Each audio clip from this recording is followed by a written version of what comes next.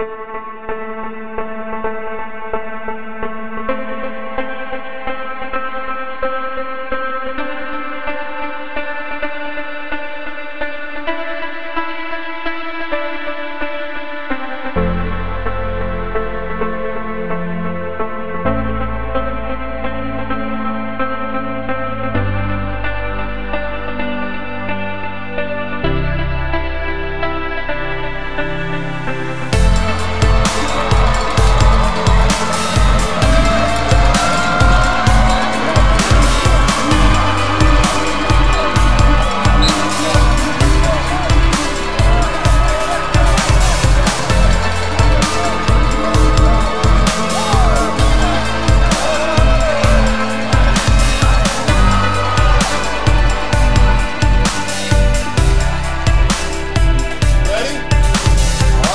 Come on.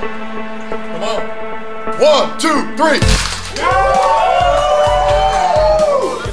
Good morning and welcome to Blue Wahoo Stadium. It is Argonaut football.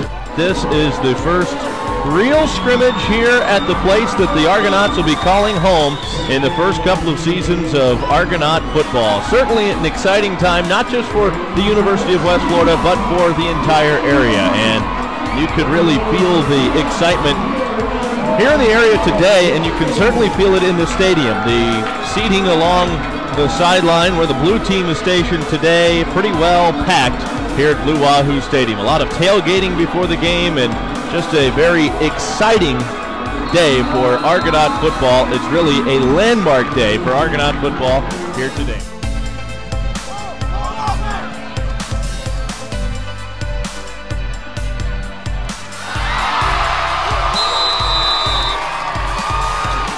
Feels perfect.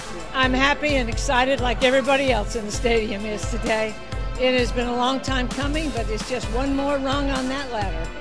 Pre-game, we came in and you know there was a group of 100, 150 people cheering for us when we got off the bus. Uh, that's fun. Oh, I mean every recruit that was here, and we had a handful of them from a lot of areas. Uh, you know, they're like, "Wow, this is beautiful. Wow, this is amazing. Man, what a setting."